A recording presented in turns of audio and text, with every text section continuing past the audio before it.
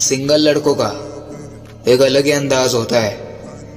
अपने माँ बाप के अलावा किसी के बाप की नहीं सुनते।